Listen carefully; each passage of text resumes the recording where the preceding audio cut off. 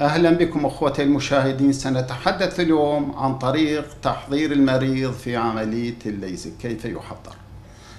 أولا كما تعلمون يجب أن يكون المريض عمره 18 سنة. يجب أن تكون قد تم إيقاف تقدم آه، نقص النظر عند المريض وليس لديه مرض عائق بهذا الموضوع. بعد أن تكتمل هذه الشروط عندما يأتي المريض للمعاينة ويطلب منا عملية الليزك. أولا يجب أن نعمل له معاينة شاملة من آه، تثبيت النظر ضغط العين فحص الشبكية. بعد توسيع حدقة العين نرجع كمان نعمل فحص ثاني لنشوف الفرق قبل التوسيع وبعد التوسيع لأن هناك بعض المرضى لديهم تقلص في حدقة العين فقبل التوسيع وبعد التوسيع يكون هناك فارق آه، قوي جدا. وكبير. وإذا لم نعمل مسألة التوسيع عن طريق القطرات اللي تتوسع حدقة العين سنفاجأ بعد العملية بأن هناك موضوع آخر هو يا أما نقص في تثبيت الدرجة أو يكون الموضوع باتجاه آخر. بدل أن يكون حصر يكون لدينا هناك مد أو بدل المد يبقى عندنا مقدار من الحصر أو يوضع عندنا موضوع ثاني عن طريق الاستجماتيزما بعد تثبيت كل هذه الأمور كل هذه الأمور آه، ننظر إلى المريض. إذا كان في عيونه أو في أجفان عيونه أي التهابات قد تؤثر بعد العملية بالتهابات في العين يجب أن نداويها بالطريقة المطلوبة.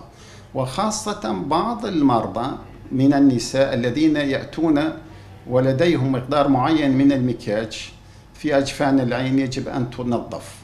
وهناك أمور ثانية العدسات اللاصقة. إذا كان المريض يستعمل عدسات لاصقة في الماضي فهناك لدينا آه، أمران. الأول إذا كانت العدسات اللاصقة من اللوع اللين فيجب أن يترك العدسات اللاصقة قبل أسبوع على الأقل. وإذا كانت العدسات اللاصقة من النوع القاسي يجب أن يترك العدسات اللاصقة قبل 15 يوما.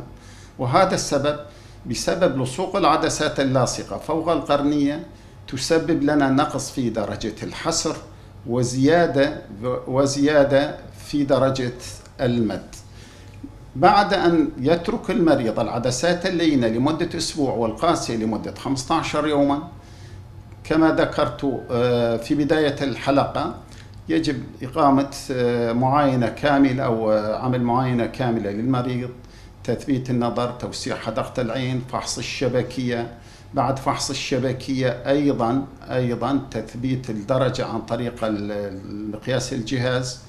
وبعدها ننتظر يوم أو يومان لكي ترجع حدقة العين.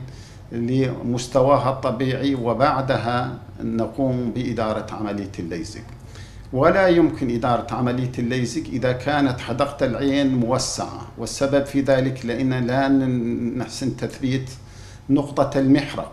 وإذا لم نثبت نقطة المحرق وعملنا الليزر بها الطريقة فالمريض سيرى الأشكال فيما بعد العملية مشوهة ممتطة طويلة أو قصيرة. أو يكون أكثر من شكل في الموضوع. والسبب في ذلك هو عدم عدم عمل الليزك في نقطة المحرق في القرنية. شكرا لكم أخوتي الكرام. على أمل اللقاء بنا في الحلقة القادمة.